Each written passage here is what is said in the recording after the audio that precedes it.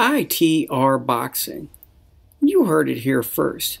Pretty cool videos. And I heard they're also in HD. ITRboxing.com. I was I was suck in every sport: baseball, soccer, basketball, football. Yeah, I was I was a trouble kid when I was younger in high school. One of my friends' dad at that moment was training. Asked me, "Hey, why don't you try boxing?" He's like, you know, he's like, "Give it a try. You might like it. Try it." Spar the best kid in the ring in the gym. He touched me up. Um, then I didn't lose motivation. I came back and I was like, you know what? I'm gonna train hard. I'm gonna beat this kid.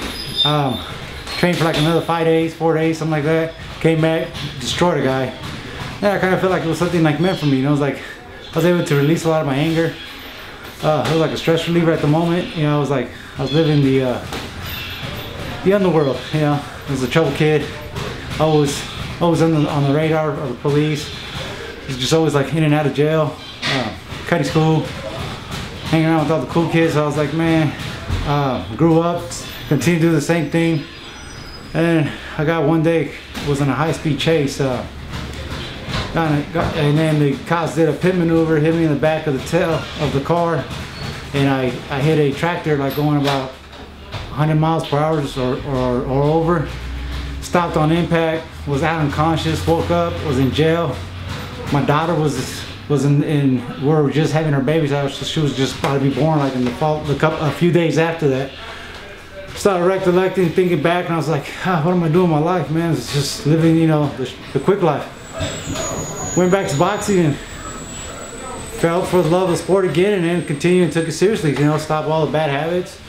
Uh, when I got back, I was 230 pounds, you know, I was like, I was living the party life, you know, drinking, you know, no sleeps, you know, um, I was just, I had a bad habit in life, you know, just had no good direction going. And then, um, my brother passed away at the time. You know, he was it was a it was a drive-by shooting. He was uh, in the middle of it and got, got hit. You know, it was like he was he was actually going to a mechanic place to go get his car fixed, and he got hit. You know, it wasn't it wasn't for him. You know, was, I guess there was somebody by there that they were trying to aim and hit.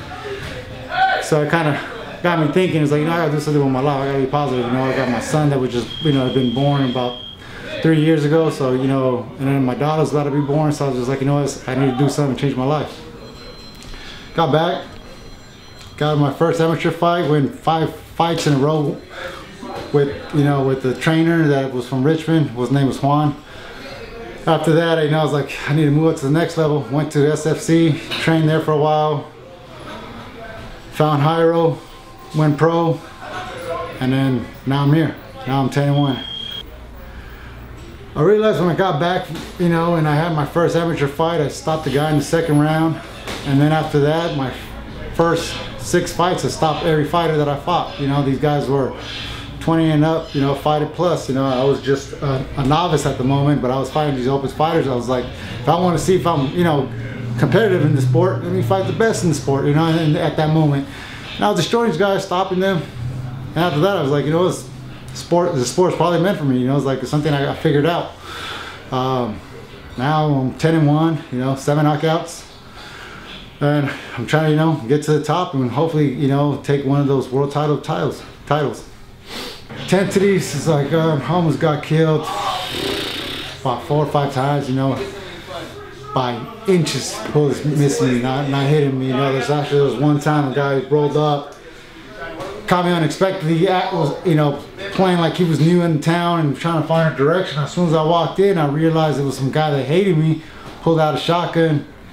Must have ran my, I must have ran the fastest I can, man. Jumped into somebody's house. I was on somebody's roof. I don't know how it happened, and I always had to keep my eyes open, make sure what's around my surrounding. It was to a point where every time if I eat at a restaurant, my back was facing on a mirror, on a glass. I had, I couldn't be facing backwards because somebody would try to hit me. So I was, I always had to be facing the streets. You know, stuff, little stuff like that. You know, it's like I was, you know, doing a lot of moves, and people were hating. You know, and people wanted to take my head out just because they wanted to take my position. Yeah, you know, the the fear is not there. You know, I don't fear any man that I fight in the ring. That's probably one of the biggest things that in boxing, you know, a lot of fighters sometimes goes in there with fear, and, and the fear is what destroys them. You know, I go in there, confidence, you know, punches don't hurt me. Life in boxing is almost the same thing, you know. It's life is hard, back in the day when I was living my quick life, fast life. And boxing is like, you know, you, you're controlling there. You know, it's like it's all up up to you what you want to do in there. It's like, you know, if you half-ass your training, you're gonna have half performance in, in the ring, but it all matters in you. You know, it's like in boxing. I mean, streets with Tommy was like, no, no fear. You know, never have fear. You know, if you have fear in life, you ain't never gonna be successful. You know, because fear is gonna keep have you doubts, and doubts, you know, just makes you sink in and drown. You know, it's like so. That's why I don't have the fight. You know, it's like they mention me fighters who If they want to fight me, I'll take the fight. You know, it doesn't matter. It's I. There's a lot of fights that's been proposed to me. You know, and a lot of you know disadvantages they're trying to give me. You know, cut down less weight than I normally fight. You know, it's trying to suck me dry pretty much. But uh, but boxing, you know, boxing is like a, a way of life. Look, I look at it, it's, it's, it's, it's, the way it is, and I was like it's real in there, you know, ain't nobody can tell you anything fake that you're not gonna see inside the ring, you know, the, the ring is, it's like your enemy, and you just gotta fight through it. Turning pro as a boxer was very emotional, at the same time exciting. You know, at the moment when I was gonna debut, uh, just a couple, just a month a month back, my dad passed away from cancer. He was my number one supporter. You know, he always told me I, I had it in me. He's like, uh, just gotta dedicate myself. You know, take take time in the sport, cut all the bad habits, stop kicking with friends. You know, it's like partying is always gonna be there. You know, boxing is just temporarily. You know, you only got a, a cap and age that you can box. You know, luckily it's like I started right at the right at the gap between I was too old and too young to start. So I was like 24 when I got in. So debuting was like one of the biggest thing I didn't expect to go. And I was like, I went back, I went back to boxing thinking just wanted to try go back in amateur and fight the best and see where I was at. And going pro was just a blessing.